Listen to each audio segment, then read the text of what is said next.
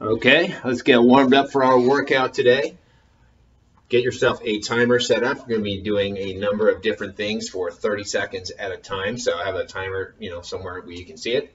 We'll be doing shuttle runs a number of times throughout these. Uh, set up two points, run back and forth between the two at the gym. They're usually about 30 feet apart.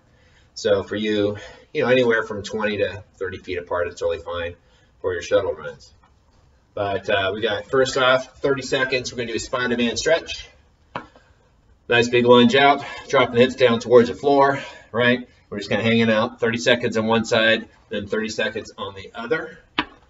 Back, it's good to have the back knee actually off the floor for this one. So we kind of work on that, that pressure, the gravity should be in the hips, dropping it down towards the floor.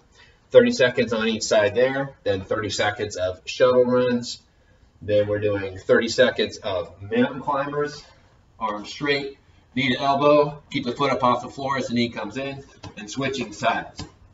30 seconds, then 30 seconds of shuttle runs.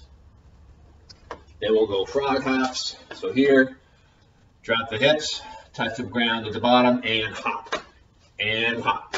All right. 30 seconds of shuttle runs after that. 30 seconds of push up to down dog. Very best push-up you can do.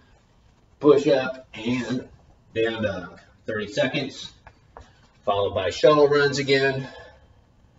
Air squats is our last movements. Drop the hips, and then we'll finish up with 30 seconds of shuttle runs at the very end. That should get you good and warmed up for today's workout. See you tomorrow.